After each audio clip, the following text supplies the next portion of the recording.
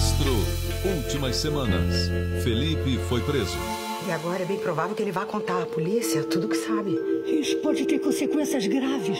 E o plano de Neco para sequestrar a mãe de Lili deu errado. Agora ele está nas mãos de sua ex-mulher. Tá na hora de começar o show. Hoje, o Astro